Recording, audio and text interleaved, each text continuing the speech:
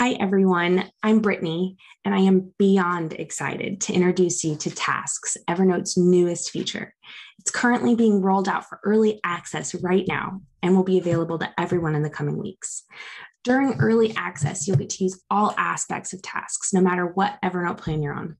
Now, I know many of you already use Evernote to manage your to dos, but Task just takes it to a whole different level. I wanted to share some ideas on how you can incorporate tasks into your day to day. Tasks just makes it so much easier to stay on top of it all. So let's take a look. Tasks can live in any note, so they're contextual with relevant information, whether it's a note from a recent meeting, project that you're working on, or even your weekly to do list. If you currently use checkboxes, checklists, or bullets for to dos, they can easily be converted into tasks. Let's take this meeting note, for example. Just select the text you want to convert. Select tasks from the insert menu. And voila. Your list is now tasks. You can also use keyboard shortcuts. Command T for Mac, and Alt T for Windows. You will know what has to get done each day and why, because you can set due dates, get reminders, notifications, which prevent tasks from getting lost in the daily shuffle. And you can even flag what's important so you can focus on what matters most. Setting a due date is as simple as selecting the task and choosing the day that you want a due date. You can even add a specific time to the due date. And just like that, due date is set.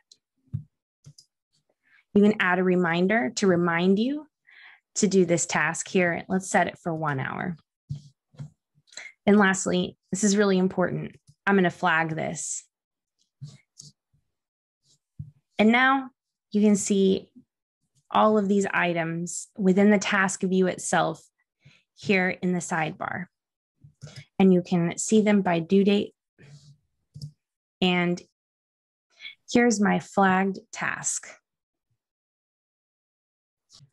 From your task view, you can access and sort by notes, due dates, and flagged. You can jump straight to a note by clicking on the note itself. Clicking into a task and hitting the return key automatically creates a new task to make it simple to add more to-dos to your task list. Now, if you have recurring tasks you do each week or month, there are a couple of options to use tasks easily. First, you can bulk reset completed tasks in a note from the overflow menu here in the task view. In my don't forget to do note, I've completed all five tasks, but I've got to do them all again. I can hover over this option for bulk actions and click reset completed. I'll get a pop up that will make sure that I'm reminded that the due dates, reminders, and flags will be reset as well. When I hit reset, they are now reinstated and ready to go for another week. The second option is to reset the task due date each time you complete the task. So let's say I send invoices once a week. Instead of marking it complete now that I've done it, I can just readjust this due date to in a week. And from there, I can continue on with this sending invoices task every week instead of just marking it off. So, this is tasks. I'm personally loving the feature as it's helping me stay on top of all of my to dos. I hope this video gives you some ideas on how you can incorporate tasks into your workflows now. Now, check out early access and give us your feedback. Thank you.